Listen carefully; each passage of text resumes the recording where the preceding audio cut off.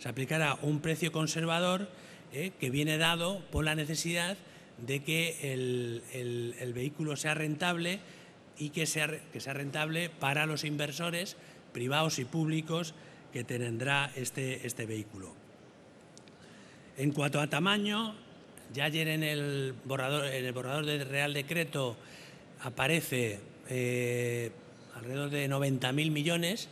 el tamaño máximo del vehículo. Todo ahora depende de qué entidades estén en el grupo 2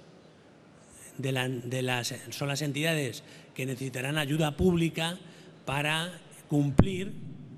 cumplir los, los, las necesidades de capital que se han asignado en el ejercicio de estrés test realizado. Consideramos eh, que al final estaríamos en torno a los 60-70 mil millones de activos en valor neto, que en valor bruto, valor inicial, digamos, de valor de estos activos, podríamos estar pues, eh, pues en torno, casi cercano a los 150 mil millones de euros.